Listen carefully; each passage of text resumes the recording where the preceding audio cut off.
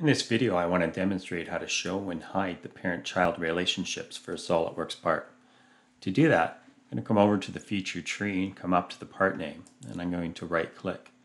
Now I have the option to show the dynamic references or the parent-child relationships. So if I click on this, I'll now show the parent relationships.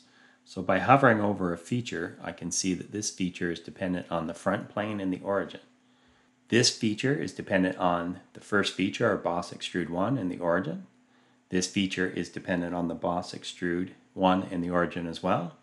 And the fillet is dependent on this lower slot feature.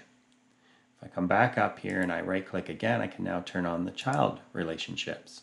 So when I hover over that, I see that the boss extrude 1 is dependent on the front plane and the origin, and that the top slot and the lower slot are dependent on the boss extrude 1 meaning I can't create them before the boss extrude 1.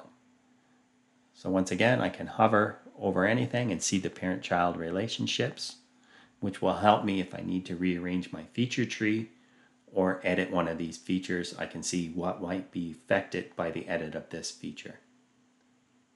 To turn them off, I come back up here and I just click on them again. I'll right click again on the part name and this time I'll shut off the child references now when I hover over the item in the feature tree, I don't see the relationships.